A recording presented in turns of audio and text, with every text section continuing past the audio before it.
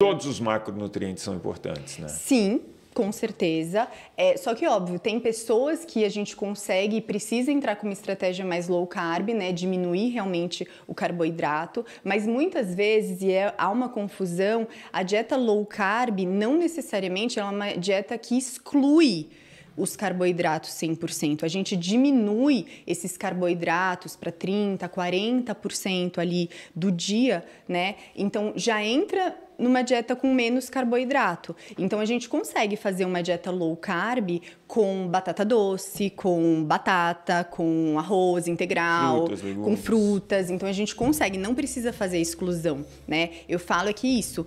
E, e também eu vejo muito para direcionar uma primeira dieta para um paciente, como que é o padrão dele hoje?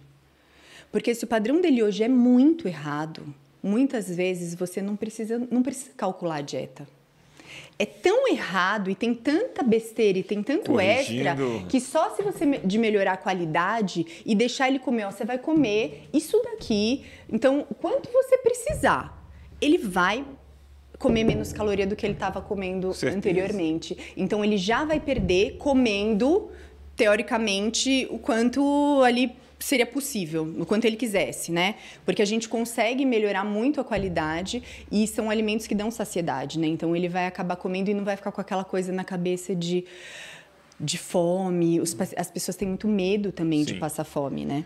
Agora, é, beleza, é, tem várias dietas e essa semana eu tava, eu me lembrei da época que longo tempo atrás que a gente fez pós-graduação juntos.